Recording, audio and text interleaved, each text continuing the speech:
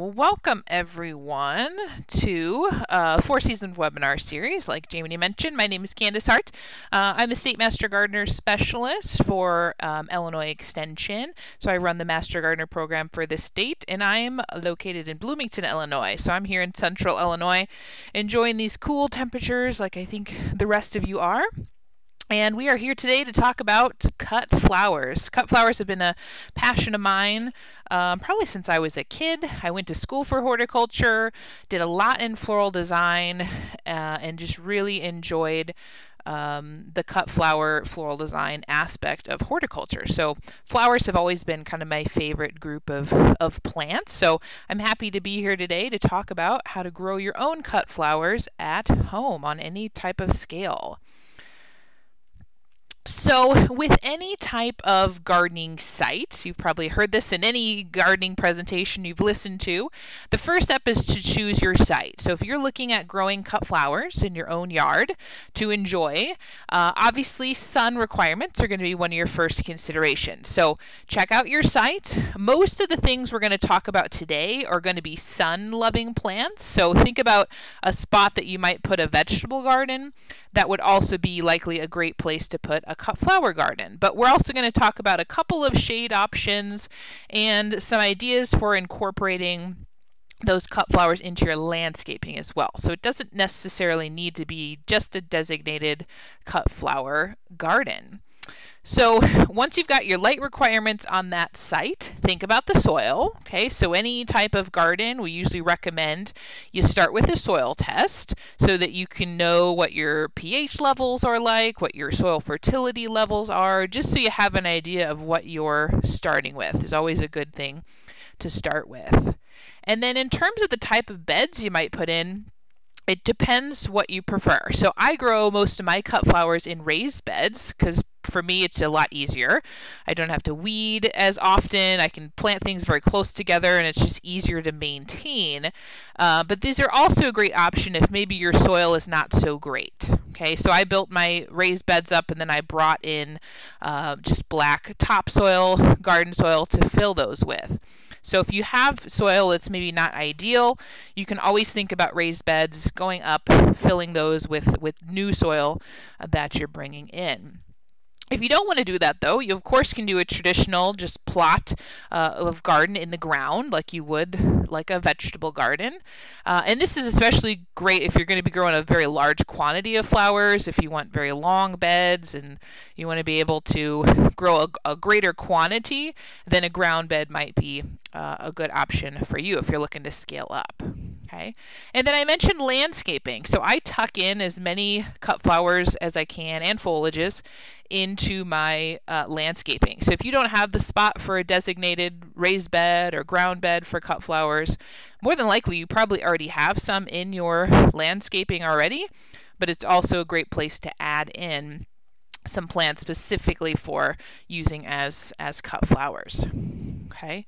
Just like with any other garden you want to have water available okay? You're going to need to water these like you would any other type of plant when we're in drought period. So making sure it's easily accessible to water and it's easily accessible to harvest okay? Just like a vegetable garden things are going to mature quickly and they're going to mature at different stages. So if you're really looking to optimize your your length of the flower's life as a cut flower, you want to make sure that you're getting out there frequently um, uh, and getting those cut at the right time, just like you would with vegetables. Okay.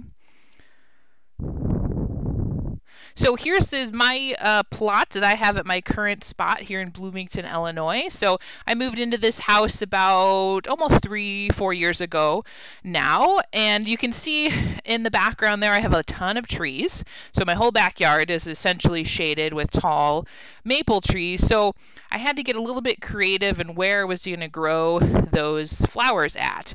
And, and this side of the house, this is the west side of the house, had the best sunlight accessibility. So that's where I put those raised beds. So you might have a spot that you want to put your raised beds, but if your light levels aren't right and if the accessibility is not right, it might just not work. So I had to pick the spot that was best for my uh, raised bed. So these are 4 foot by 12 foot uh, raised beds that I grow the majority of my cut flowers in here. And then you can also see in the back left there, I've just got some typical landscape beds along the side of the garage there too. So I have grow things in the ground as well as things in um, in raised beds. And I, like I said, I love raised beds. It just makes it uh, a lot easier to maintain and and harvest and and and work with. So just another season. I like any other crop. I tend to rotate around the different types of of cut flowers that are grown in each bed this year, each year. One for soil, but also more just for me for variety and and moving things around. I like to look at uh, different flowers in different spots and see how they see how they do. Okay, some more of the, the raised beds there. We're going to talk a little bit about staking. You'll notice there's some poles added into some of these. Some of our crops need some different staking measures, so we'll look at that uh, as well. Okay, so really take a look at your site, look at what you have in terms of light availability, water availability, and then go from there in terms of what kind of bed you want to, uh, to add in. This is that bed that I mentioned kind of along the garage. You'll notice the photo on the left. This was what I inherited uh, when I moved in. So clearly the previous uh, owners were not gardeners, as you can probably tell. Uh, they didn't have any plants mixed in there. So first step, of course, was to remove that river rock um, because I couldn't plant into that uh, remove that river rock, remove the landscape fabric, and then I came in, added compost, got that soil test so that I kind of knew what I was dealing with. And then based on that soil test, I started to add nutrients. So I added compost, I added mulch to start to improve that soil. And then every year I continually add uh, more and more, mostly perennials in this bed, cut flower perennials, as well as some grasses and some shrubs. So I tend to have a different view of, of landscaping in my garden and if it doesn't have a good purpose as a cut flower or foliage then I'm probably not going to put it in my landscape because I want to have things in there that have dual purpose that they look great in the landscape. They're great perennial plants or they're great annual plants but they also serve a purpose for me as being a great cut flower that I can cut and enjoy so in my particular bed here you're not going to find something like a daylily which are beautiful perennial plants of course but as the name implies the flower lasts for a day. So it's not a great cut flower. So I'm going to probably put in here more uh, oriental lilies or um, um, stargazer lilies, things like that, that I can harvest and have more of as a long lasting cut flower. So don't be afraid to mix it into your landscaping. More than likely you have some of these already, like I mentioned, the cone flowers, the liatris, things like that. So you may already have some great things mixed in. Here's that bed again. So that last picture was kind of the first year after removing all of that rock. And then, like I said, every year after that, I keep kind of continually adding more perennials, more trees, more shrubs, just to give it more color and more cut flower uh, possibilities. Plenty of weeds too, as you can as you can notice, but that comes along with the package. Okay, so a little bit more about getting started in cut flowers. Just like with anything, first step is to figure out how you're going to plant those flowers. Okay, are you going to start from seed? You can purchase seed packets online. You can purchase seed packets from garden centers and you can start your own transplants indoors. So in my garage right now I have uh, quite a few trays that I've planted seed in and I'm growing those seed into transplants so that once the weather is warm enough I'm able to plant those out into my raised beds and have a jump start on growth. Some of those, though, I'm even just going to take the seed packet and direct seed some of those right into the bed. So zinnia, for example, grow so quickly, or uh, marigolds or cosmos. They're so easy to grow from seed that I will some years just plant those right out into the beds once the weather's warm enough and not even worry about starting um, transplants. Okay. Or if you don't have a good seed starting spot or you're not interested in that, you of course can purchase plants. So local garden centers will tend to sell some of these varieties that we'll talk about today, or you can go online and look for some specific cut flower uh, transplant growers or plug producers. A lot of times you'll see those. So you can purchase flats of, of plugs uh, at usually a pretty good rate. Just keep in mind though, if you're doing that, you're going to be getting larger quantities. So, for example, I grow a lot of Lisianthus. I love Lisianthus, but it's a very long seed start time. I would have to start them in January and plant them in, in April, and that's just too long for me to try to, to maintain them. So, I purchased flats of Lisianthus to go in my raised beds. But when I do that, I order probably at minimum 75 of them per tray. So you're looking at quite a few plants. So if you're talking about a small kind of backyard cut flower garden, you probably want to either start your own from seed or see what you can find available at the garden center. Just know that your selection may be a little bit limited if you're just going for uh, what you can find locally. Okay, so once you've figured out how you're going to plant those, once you get them into the ground, you get them into your raised beds wherever you're growing them, uh, we need to think about support for some of these, like you saw in some of those pictures. The goal with a cut flower is to grow a very straight stem. Okay, that's always the goal, so that we can use it in a vase arrangement, we can use it in any type of arrangement. We want a nice straight and sturdy stem. So some things need support, they need stakes, they need netting, in order to maintain that nice straight stem and stay upright in the the growing process. So That's going to give you a much nicer cut flower. So there's very simple ways to do it. Here we've got some celosia uh, growing here.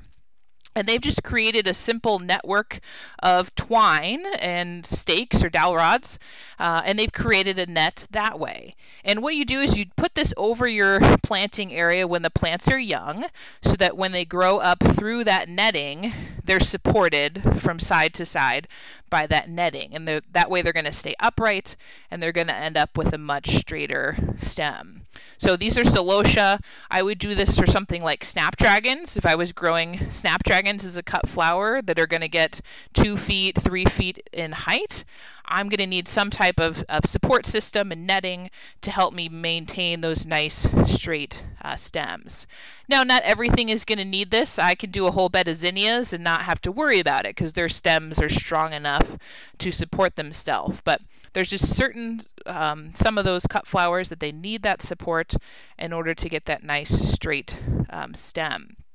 Dahlias are one of those that I grow a lot of, and dahlias definitely need some type of support system if you're growing these cut flower varieties. They can get four, uh, maybe even five foot tall when those flower heads are on there. So again, you can do a netting type of system. What I typically do in these raised beds, you can see that post on the corner there. I will just take twine and, and put posts in each corner of the raised bed, and I'll essentially just do twine around the outside of the bed at different heights. Uh, and that basically just kind of corrals the plants close enough together that they can support themselves. Uh, tomato cages also work really well um, for this too. Um, so just keep in mind whatever you're planting. Uh, keep in mind what the stem height is and how strong the stem is, and if you're going to need some support systems, because sometimes you're going to need that. Okay, now we're going to take a look at some of the flowers uh, that I'm going to recommend to you as some good ones to try. So hopefully some of these you'll recognize as things you've already grown in your garden in years past, and maybe you just haven't realized that it was a great cut flower. Uh, but we're going to start with annuals. So these would be those plants that you're going to either start from seed uh, inside, or you're going to direct seed them into the garden, or you're going to purchase transplants. And these plants are only going to flower for that one year, and then they're not going to survive the winter. So these are those eh, plants that we need to plant again every year in order to continue to uh, enjoy those. And there's a lot of great annuals that are cut flowers. So starting off here, oh sorry, it looks like some of the names are cut off there, but the handout for today's program will have the list of, of names. Um, starting off here, we have zinnias, and zinnias, like I mentioned, are one that you can direct seed, so you can plant the seed right into the garden. It germinates very quickly and they're very easy to grow. A lot of color options. They're long lasting cut flowers. They can have some mildew problems in, in your garden, but as a cut flower, excellent choice. If you've never tried uh, a cut flower before, zinnias would be a very easy one to start with. Plant some seeds, let it go, and you can get many, many harvests off of it. That's what's great about many of these annuals is that we call them cut and come again type of crop. So I can come through, harvest all my zinnias with uh, good length stems uh, about once a week, and by the time I'm ready to harvest again the next week, I've got a new crop of stems that have that have come up. So it's not that just simple one cut and you're done. You get many cuts out of them, which is great. Okay, so that's our zinnias. Straw flowers, excellent uh, cut flower. I'll mention as we go through, some of these are great dried flowers, and straw flower is one of those. If you took your hand and kind of rustled the petals on this straw flower, they're basically dry on the plant itself. So if you're one that likes to make crafts and wreaths and dried flower arrangements, straw flower is a great one to grow because you can harvest it just hang it upside down to dry and it will look almost exactly the same as when you um, harvest it. So that is straw flower. And you can have very many color options, a lot of stem length options, okay? Making sure when you're purchasing the, your varieties that you are getting cut flower length. So always check the height of the plant. If it says it's only going to get six inches tall, that would be more of a bedding plant, straw flower, and that wouldn't be your best cut flower option. We're looking for nice, long, straight stems that we can use as cut flowers. Okay. Next up, we have some celosias. So plume celosia is a great landscape plant, even if you're just having it in the landscape, but it also is a great cut flower that you can harvest. Lots of color options. It also dries very well, like our uh, straw flower that we were looking at. So you have a lot of different color options to choose from. And typically you're going to harvest that main large plume that comes on first. And then even after you harvest the center bloom, you're going to get side shoots that'll come after that. So you get multiple harvests off of it. I also love, maybe even more so, the crested celosias. So these are the ones that kind of have that brain-like appearance to the flower head. They're going to grow the same way as the, the plumed celosia. They just have a slightly different flower head uh, to them. It's just something cool to try out. Next up, we have Gomphrena or globe amaranth. This is a low-growing kind of bedding plant that you could also simply add to your landscape, but great cut flower. Kind of like straw flower, if you touch your petals on there, they're basically dry. So you can, again, cut a bunch of this, hang it upside down to dry, and it will hold its color and look perfectly as it um, as it was if it was fresh. So here you have some orange gomphrena and there are many color options, pinks, purples, whites, just a really explosion of, uh, of color on those.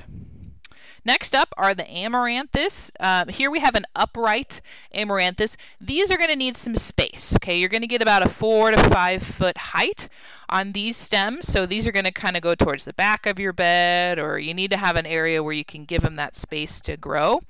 Uh, but these are just wonderful, nice, upright, strong stems uh, as cut flowers that, again, you could also dry and enjoy later. So this is kind of a coppery colored orange uh, one. I tend to grow a batch of the copper each summer and then also a batch of the burgundy and you can see some of that peeking up there as well. You also have uh, hanging amaranthus, or you might hear the common name love lies bleeding if it's the red colored form of this. Also very great to grow. Because it is hanging and pendulous like this, the hanging type you're going to need some type of staking for to keep things uh, upright. But very cool, unusual um, flower that you can grow. Cosmos, like zinnias, would be a great one to start with if you're brand new to cut flowers. You can plant seed very easily out into the garden and it will germinate very quickly and you'll have a lot of foliage, a lot of flowers. Most of them kind of have more of a daisy-like uh, appearance, usually pinks and whites. But here we have one that has more petals to it, triple, doubled petals. So it almost looks more like a, a carnation. So you certainly have variety that you can pick from. Rudbeckias, many of us are familiar with the perennial Rudbeckia or black-eyed Susan in our garden, but there are annual black-eyed Susans as well, and they tend to have a little bit more color variation. So you can get some different colored centers, a lot of really pretty autumn um, colors that you can grow as cut flowers. Oops, sorry, wrong direction. Okay.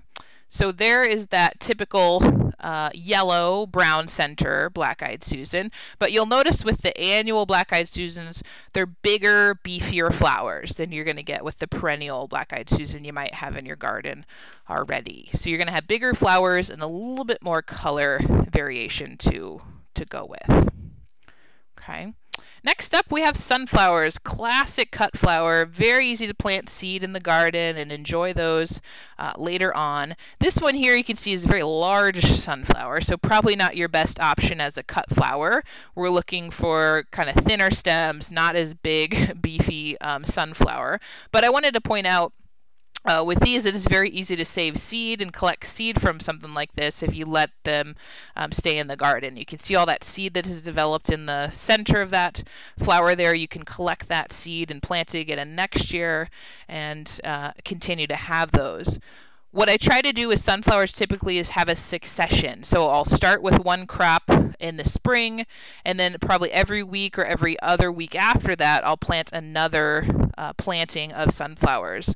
Because like unlike a lot of the other annuals, when you if you cut the stem all the way to the ground on a sunflower, you're not going to get another flush of growth. So if you want continual sunflowers throughout the season, uh, I want to plant that succession so that I'm always having uh, a crop. And you'll notice here these were, like I said, very large sunflowers, so I was even able to harvest the stems at the end of the season, and I used those uh, to create staking materials and trellis materials. So don't forget about the stems, they can be useful sometimes as well.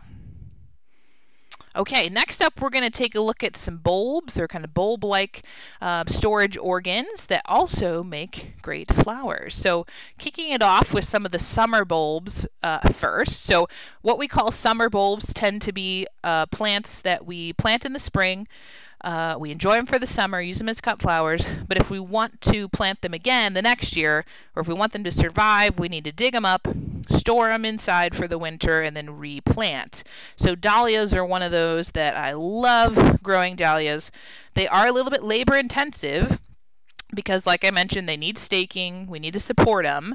But then if we want to replant them the next year, at the end of the season, I need to wait till a frost, cut off the foliage and then dig up those tubers and keep them cool and dry for the winter. And that's where a lot of gardeners struggle is getting those to survive the winter. So if you're able to, or even if you just treat them as an annual and grow them for one season, it's a great uh, crop. A lot of color variation, a lot of flower types uh, to choose from, and just gorgeous, gorgeous flowers uh, to grow. This one's a cafe au lait. That's one of my favorites. It's as big as your face. It's a big dinner plate um, dahlia. It's very popular for weddings. Love to grow that one. Okay, another summer bulb that you can tuck into your garden is gladiolus. This, of course, is a very old-fashioned.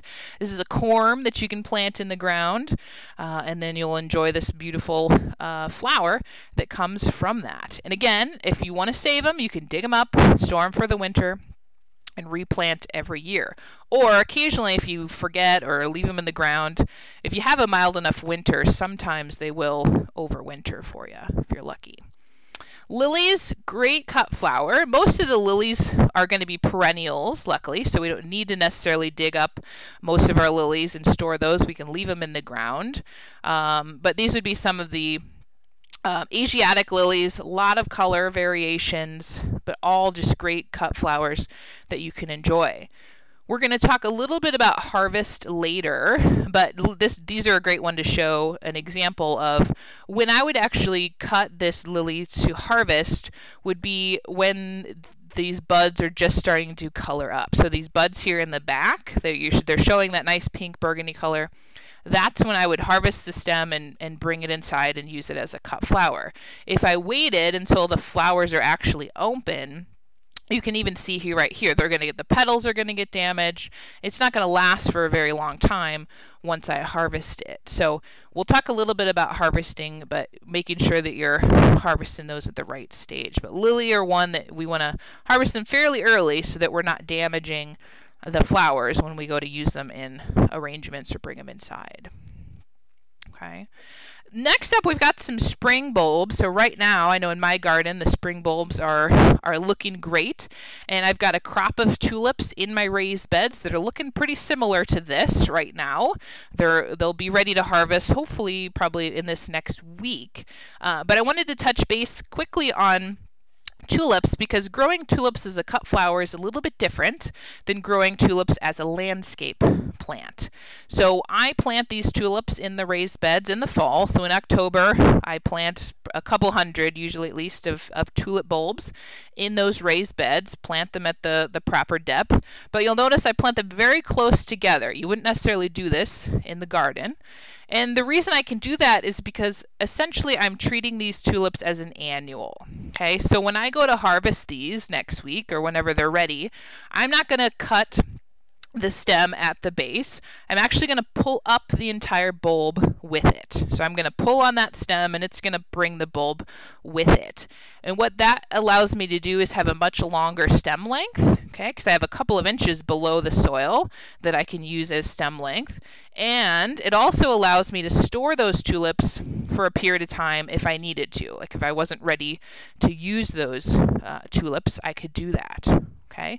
And like lilies, I'm going to harvest them when they're just starting to show some color. So those those buds in the back, they're just showing that orange color. That's when I'm going to start to harvest. I don't want to wait till the flower's completely open because again, I've lost some some vase life there. So I'm going to pull the stems and the bulbs when they're just starting to show that color.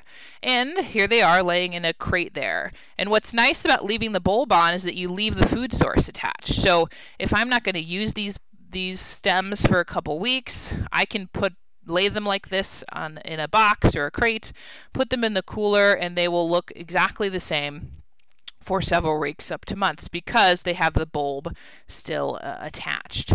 Now, tulips are phototropic, so they need to be dark so that they don't bend up towards the light. Uh, but that I just wanted to showcase that because that's different than tulips in your garden. Okay, tulips in your garden, you need to leave the foliage on if you want them to come back the next year. Okay, in this case, we don't. We're treating them as annual. So I'm going to replant new tulip bulbs every year in those uh, raised beds. So something a little different there. Okay, next up we've got some perennials. So I'm going to whiz through some of the common perennials. Again, you might have some of these in your garden already and didn't realize they were great cut flowers. The key with perennials is that you stagger out your flower time. So you want to have some spring flowering perennials, summer, fall, so that you always have a variety of things to uh, to harvest. Excuse me, wrong very touchy. So what I'm harvesting right now from my garden are hellebores. I love hellebores, one of my favorite perennial plants to put in, mostly because they're a shade garden plant, and there's not a lot of great flowers that you can mix into a shade garden. So right now, the hellebores are looking spectacular and I can cut the, the stems of those and use those in arrangements and enjoy them as a cut flower. Really great color uh, options, greens, pinks, burgundies. So if you don't have hellebores in your shade garden, I would add some in. Okay, great flowers. Bleeding hearts are going to be popping up here soon. My foliage is, is popping up, but I don't have any flowers yet. Uh, but once they do, you can harvest the stems of those bleeding hearts, and those are great in arrangements, give kind of that arching um, accent that you can add in there. Okay, soon enough we'll have peonies getting ready as well. I grow as many peonies as I can. I'm always adding more and more peony plants in because they're just beautiful cut flowers. Okay, short season, but when they are ready to harvest, they are beautiful and I can use them, uh, I can use all of them easily in one season. So typically you have whites, flower colors, pink flower colors, burgundies, but I wanted to note again here the time to harvest. So once my peonies get to this stage, we call it the marshmallow stage. So you have the bud showing here. They're starting to show some color peeking out of the bud there. What you want to do is take your hand and give it a little bit of a squeeze. Okay, if it feels a little soft, think of a marshmallow, uh, then that's a great time to harvest. If it still feels kind of rock hard, give it a little bit more. But this is the stage that you're going to harvest peonies. Okay, so if you're just using these for your own enjoyment, you would cut them at this stage, strip off that foliage, put them in a vase, and then you'll allow them to open inside so that you can enjoy the full beauty of that peony. The reason, another reason to cut them at this stage is that we can also store them at this stage, similar to what kind of what we did with the tulips. So if I harvest all my peonies at, at this stage, at that marshmallow stage, strip off all the foliage so I have nice bare stems, I can wrap those stems in newspaper, so kind of create a tube of, of newspaper and wrap those stems in there, and I can put them in the cooler. And I can leave those in the cooler for weeks to, to months.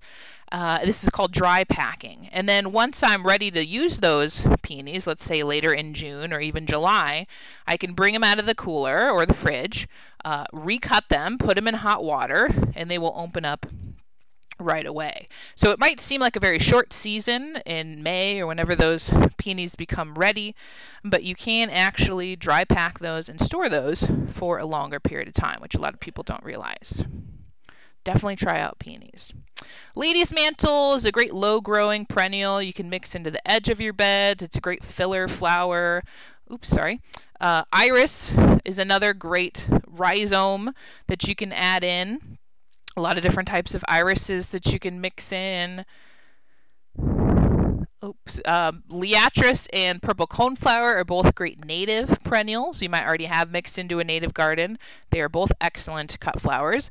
I love purple coneflower. Even when the petals are done, you can pluck off the petals and even just use the centers. They have beautiful orange um, centers and a lot of different flower colors. Okay. Eryngium is another kind of not so common perennial that you can mix in. Makes a great filler flower to add to arrangements.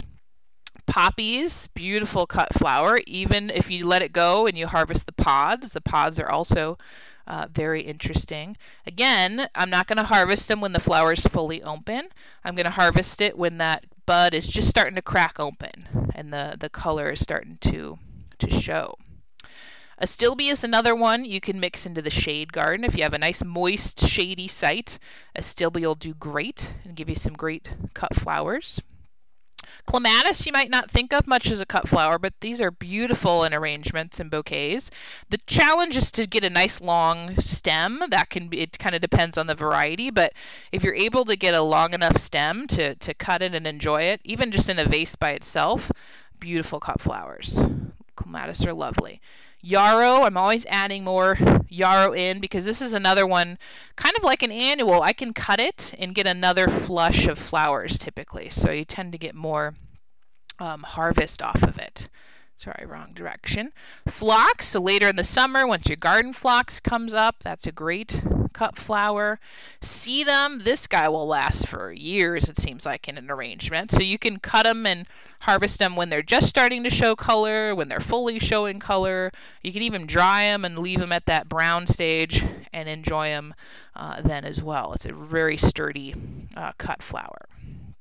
Okay, and then lastly, I want to leave you with some ideas for textures. Okay, that's what really makes your arrangement unique is to add different textures to your arrangement. So there's definitely foliages, grasses, shrubs that you can mix in as well.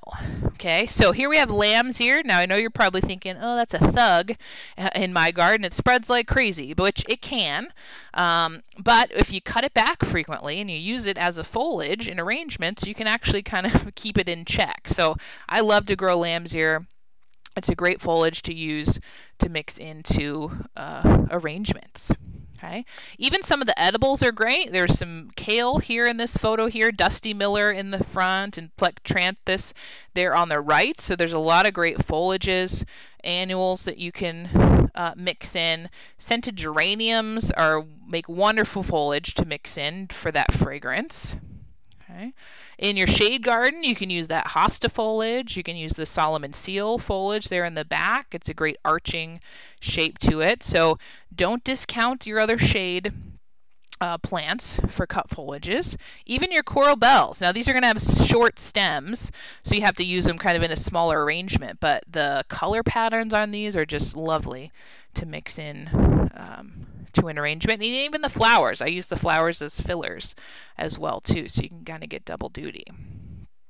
Okay, grasses excellent for adding texture and just another visual interest to your arrangement. So you've got some miscanthus there in the back. The zebrinus has that striped foliage. You could use the foliage. You could use the seed heads. There's a lot of grasses that you could mix in. Northern sea oats is probably one of my favorite grasses. Again, it can kind of be a thug. It can spread a little bit if in the right spot. Um, but man, just those hanging seed heads that wave in the wind. They're just beautiful uh, grass to to mix in. Beautyberry is probably one of my favorite native shrubs that you can put in Callicarpa or beautyberry. You in the fall you'll get these just gorgeous purple berries that you can cut uh, and use in arrangements. Now at this time of year, the my bridal wreath spirea is not quite open, but it will be fairly soon. And a lot of the spireas you can cut and and use in arrangements. Back in the shade garden, you can plant Japanese pieris. That's a kind of a unique shade shrub that you can mix in, and in the spring it'll have these beautiful bell-shaped flowers that are a great addition. Nine bark is an excellent shrub for foliage. I grow a lot of nine bark wherever I can in sunny areas um, so that I can cut those stems and use them in bouquets, use them in arrangements. It's just a great kind of all purpose foliage that you can add in. Okay, we're going to finish it off with a little bit of maintenance and harvesting stuff before we look at some questions. So, obviously, with any type of garden, weeding is going to be important. So, making sure you're staying on top of the weeds. Definitely consider mulch if it works for the area that you're growing in. And a lot of larger producers will grow in either the roll black plastic or they'll roll landscape fabric down over the beds and they'll cut holes in that to plant their, their plant. So on a larger scale, you definitely need to have a weed plan in place. Okay, watering, of course, is going to be a maintenance task. So carefully monitor your watering. Anytime you can keep the water right where it needs it at the soil level is great. So soaker hoses, drip irrigation is great if, that works for your site. Okay, and then we didn't, I didn't mention this as we went through, but you can certainly manipulate stem lengths and flower times with some pinching and pruning to alter those stem lengths. So those peonies that we were looking at earlier, you might actually do some disbudding on those early in the season. And what that is, is that you're removing the side buds, so those smaller side buds, you remove those earlier in the year so that all the energy goes into that one really big uh, peony bloom. Okay, that would be disbudding. Okay, you might do pinching. Many of us will pinch, let's say, our chrysanthemums in the the landscape.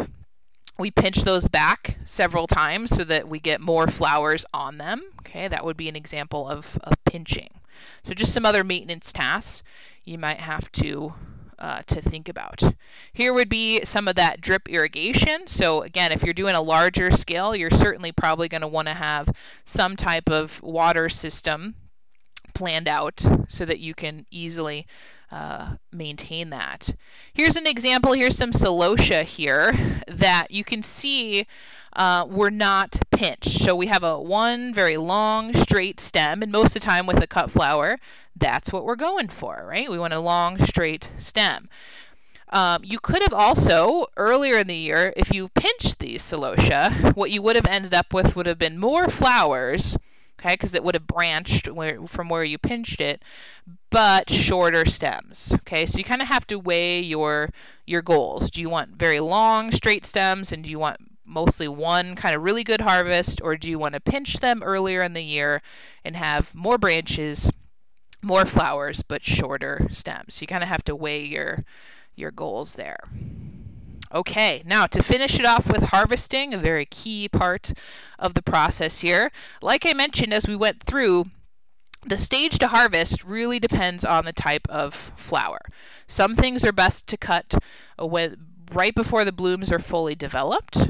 Okay, some are best to cut in the bud stage, some are best to cut at the fully open stage. Okay, so we looked at those lilies earlier, we looked at the peonies.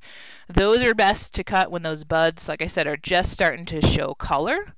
Okay, contrast that to something like um, Zinnias, for example, I'm typically going to cut my zinnias when they're basically at that fully open stage because I know they're not going to really open much more after I cut them. So a lot of it is trial and error and learning as you go what is the best stage uh, to cut each type of flower.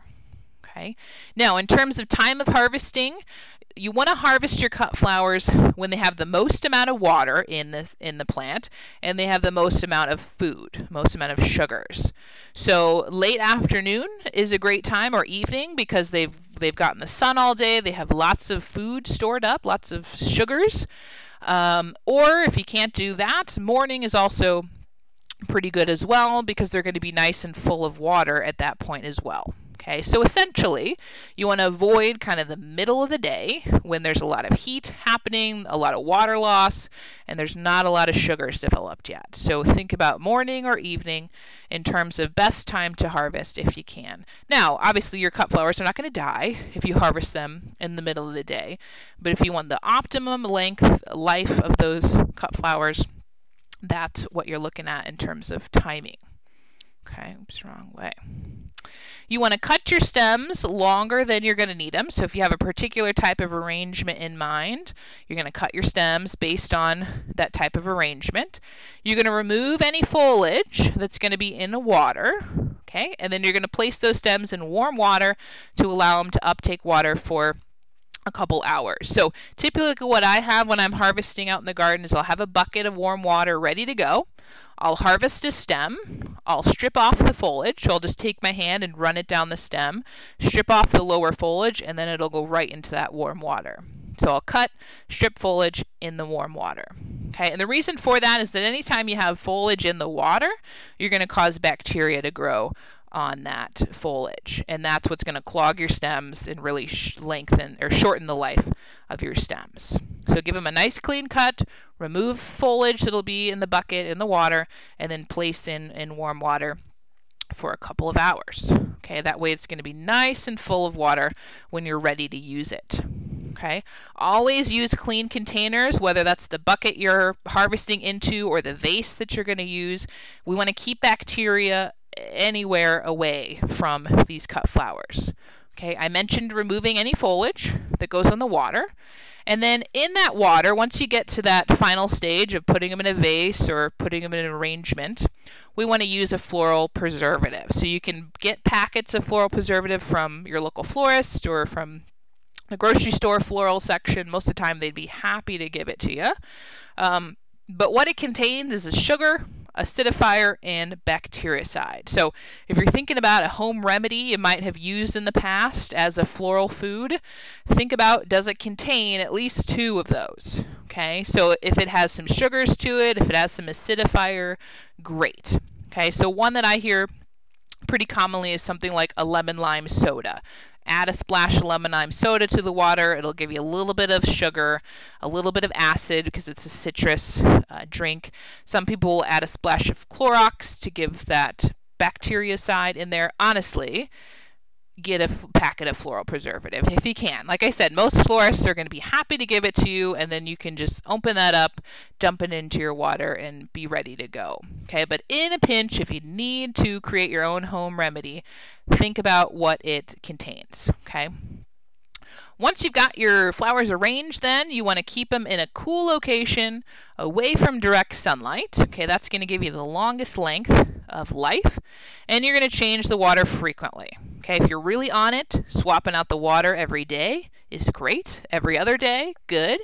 Okay, the more you can keep fresh water, keep the bacteria away, the longer your flowers are going to last. Okay, and the longer you can keep them cool and away from sunlight, the longer your flowers are going to last. Okay, and that's always the goal, is just to enjoy those flowers as long as possible.